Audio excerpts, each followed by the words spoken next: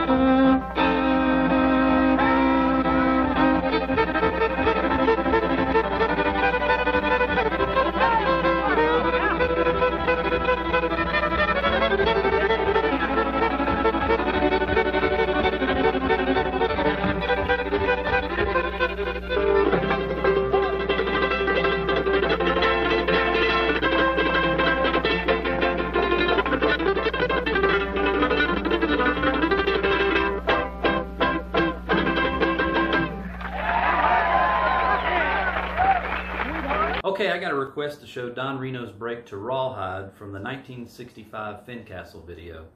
Um, I have several versions of Don playing this on live shows, so I'm going to show you a little bit from those and a little bit from the video, and also some stuff from my own playing. We used to play this quite a bit with my band back in the day, and uh, it's a great tune to improvise on. You can really add in a ton of Don Reno tricks in here. So let's get into it. Uh, I'm going to try to keep it as short as possible. So uh, it's in the key of C, uh, no capo, of course. So uh, this is how it starts. All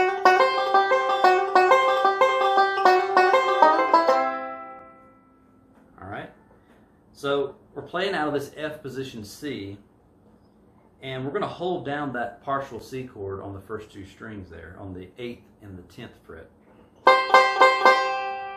We're going to move this finger back to the 7th fret, keep that 10th fret held down on the first string. So we hold that down, keep it held down, and then hammer on with your middle finger on the 8th fret. So. Alright.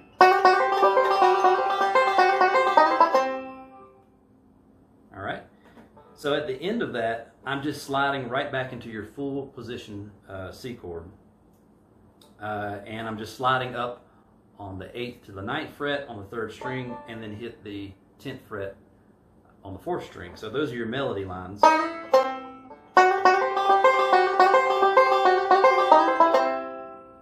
Okay. So then we're going to go to an F chord. Um, you can either do the full F chord here or leave the first string off. Most of the time I leave the first string off, but you can hold the whole thing down if you want. So it'll sound like this.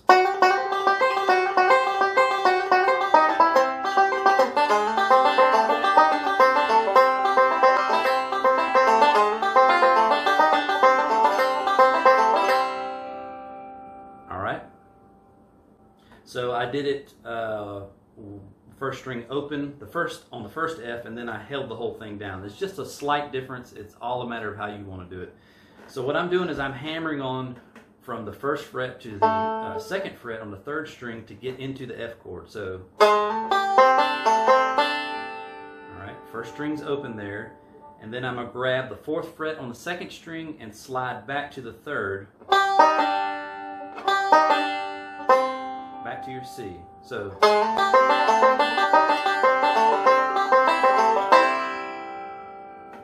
Then we're back to the F again. I'm going to do the full F chord. I don't know if you can hear the difference or not, but there's just a slight difference because I'm doing holding down that full F chord. All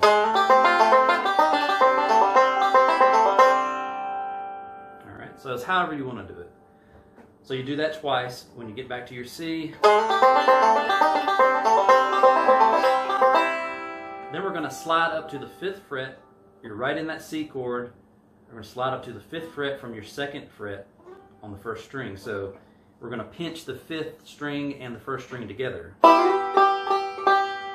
And it's really hard to explain. I have to feel it uh, when I'm playing it, but I've never broken this down, so bear with me. This is uh, I'm, I'm learning along with you. So um, we're going to slide up. Just going back and forth on the fifth and the first, holding that down.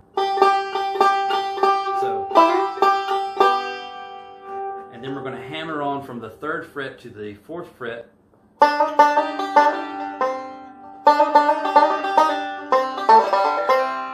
right, it's hard to play this slow. Um, again, as I always say in all these videos, uh, Don Reno is never going to play this the same way again. Uh, the Fincastle video, um, there's certain things that you, you're going to do. The melody line, of course.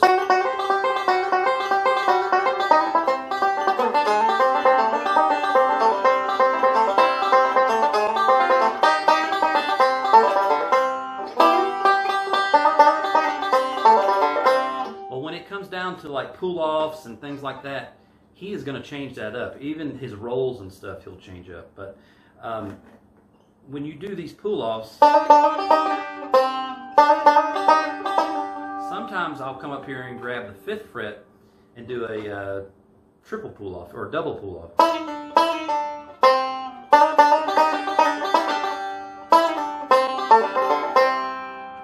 So let me play that whole first part for you again. Uh, up here, you can kick this off. Usually Don would just start right out with. You can kick it off by doing this, like that.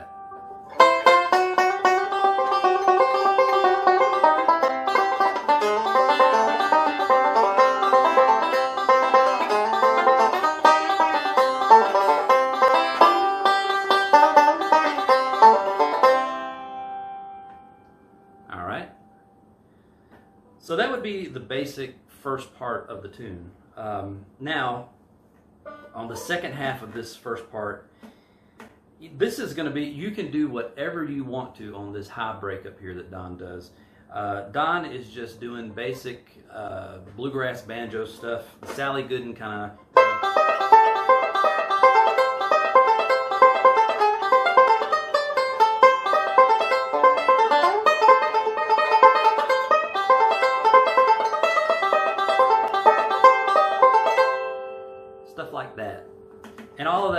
Just you can do whatever you want there. Actually, Don got a little bit hung up in that Fincastle video, um, but uh, most people probably wouldn't even notice it. But I've heard him so much, I know when he's getting in a, a bind or gets hung up a little bit. But Don could take a mistake and make it sound like a million dollars. Nobody would ever knew ever know that he's in trouble. Um, he's always right on the very edge. You, that's what's so exciting about him is because you never know. He, he doesn't have a set way of doing things, so you never know what he's going to do next. And uh, there's a little edge of danger to that. You know what I mean? Um, but really, all this is down here is just basic up the neck bluegrass banjo stuff. So you can do whatever you want.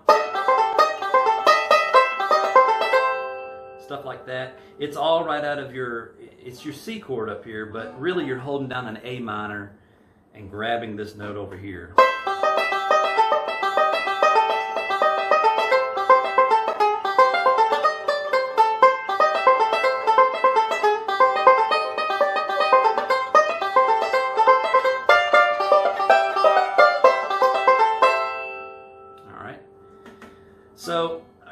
Show you some variations that I do on this little break. Um, and I'll, I'll, I'll put my video of our band playing this from years ago um, at the end of this video, but uh, to give you some more ideas of how this goes together. But uh, a lot of times when I get through with this lower break,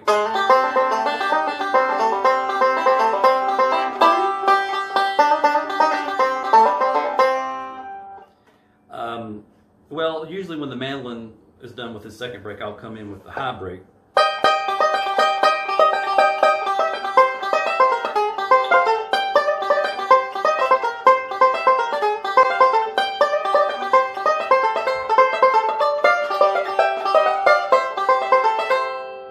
All right. So you can do stuff like that. That's very Don Reno E. um, especially this.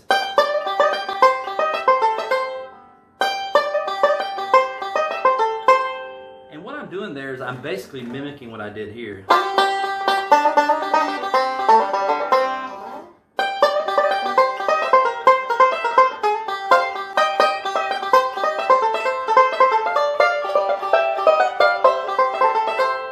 All right. The very end of that there is a little bit of uh, Tennessee Stomp. I don't know if you've ever heard that or not, but it's a good boogie tune that Don did.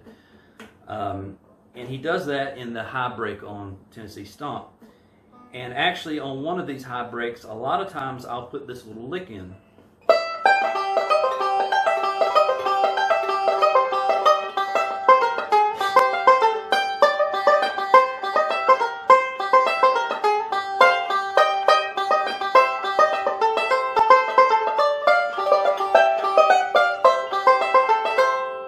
All right, so that's a really cool little lick.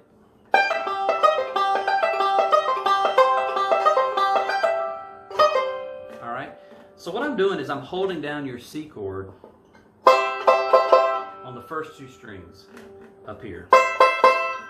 I'm reaching over here and grabbing the 17th fret on the first string. Um, I've never slowed this down, so let me see if I've got this right. So I think I'm hitting the first string first, and then I'm grabbing the 17th fret and pulling off. And then I'm hitting the fifth string in between these pull offs. So and I'm grabbing uh, the 16th fret on the second string and pulling that off. Hitting the fifth again.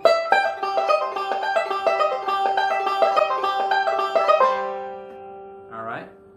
So that would be a good little practice. Just keep doing that over.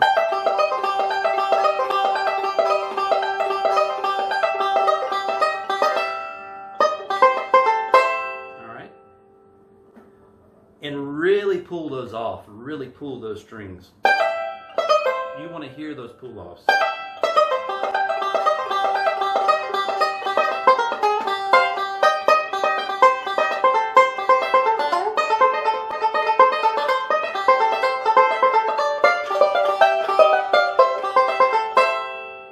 All right. So there's some ideas to mess with, you know, on the the the regular C part, the first part of the tune. Okay, so let's get into this bridge here. Um, so what what we're doing is we're running through an E chord, A, D, and a G. All right. So what Don does usually um, in these live versions is he'll do.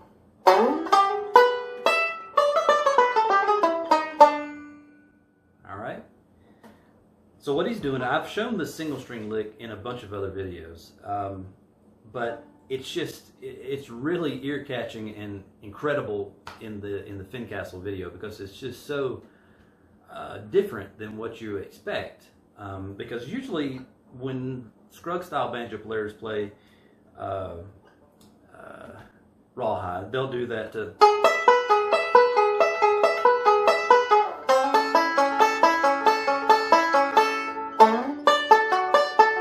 Stuff like that. Very simple, similar to that. Um, but Don does this, and all right, and he really slides into it. He's actually hitting some open strings when he slides into it. Um, that's another thing with Reno style to be aware of. Keep moving, you know, uh, slipping and sliding and, and, and all kinds of stuff, pulling off. Uh, it adds excitement to the playing. Um, but yeah, what he's doing is, is actually pretty simple.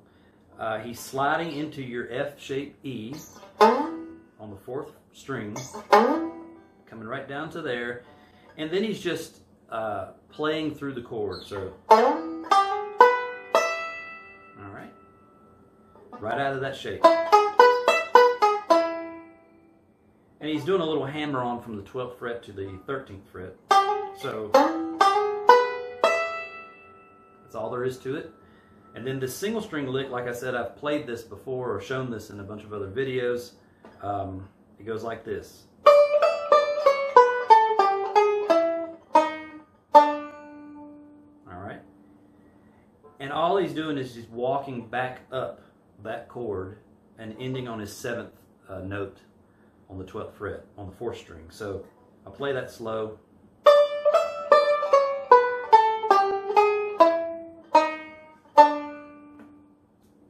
Okay? And then we're just going to repeat that. You go to your A chord.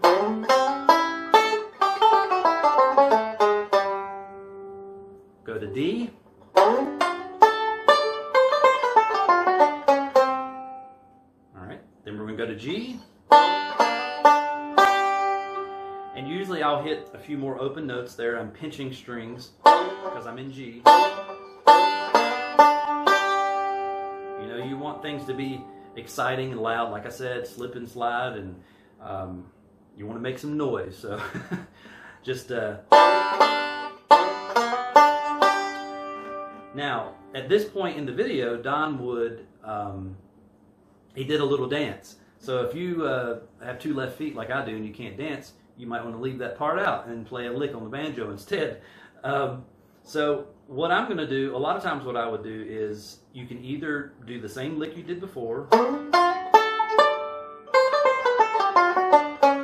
go to G, and just do that same thing in G. Um, or uh, what I would do a lot of times would be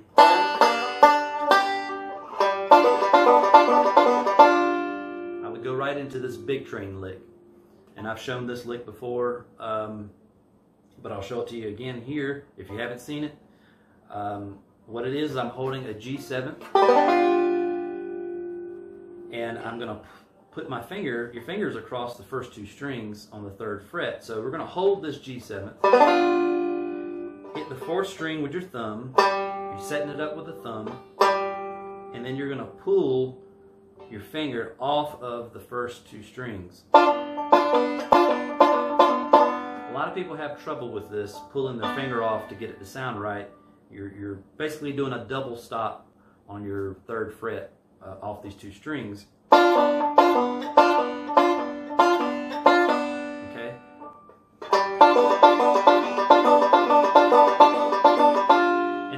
Practice to get that down. This is from Big Train. All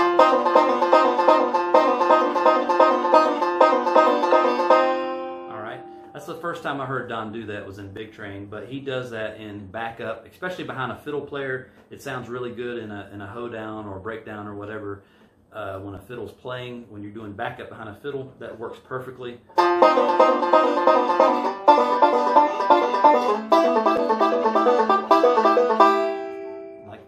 Got a good gallop to it, you know. So if there's any train songs or anything to do with a horse, or it's got a good, uh, you know, sounds like a train. So you can do that. Uh, and then the mandolin would come back in on the C. Um, so that is basically the bridge that Don did. Um, now you can do all kinds of stuff during this bridge. Like I said, this is a, a good jam tune, a good improvising tune. Um, you know, you can do all of Don's bag of tricks here. You can uh, do the single string stuff and thumb stuff. Stuff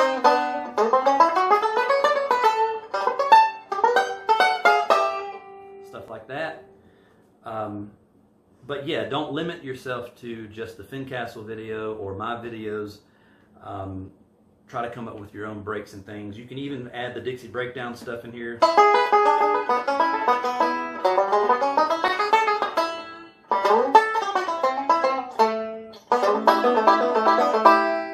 right, things like that. Now, uh, in the video that, that of my band when we used to play it, I would usually do a break through the bridge um, that I would use that big train lick all the way through it. So I would go right to E chord. All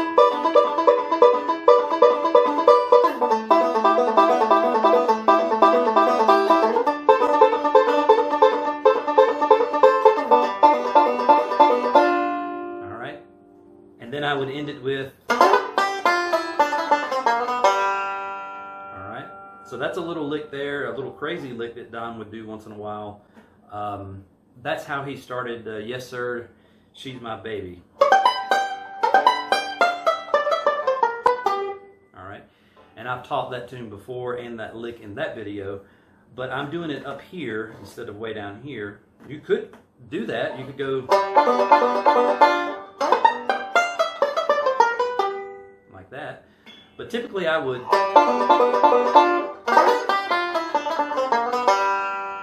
then go back to C. All right. So yeah, uh, that's pretty much rawhide. Uh, that's pretty much what Don did, is or close to it. Like I said, he you can do whatever you want to with this tune. Um, I wanted to just show you the basics of it and give you some ideas to play with. Um, I'm trying to think if there's anything else. Um, yeah, there's a ton of stuff I could show you. uh, this video would be two hours long if I, I, went into all the things you could do with it. But that's the basics of Rawhide. And um, if you have any questions, uh, feel free to give me a shout.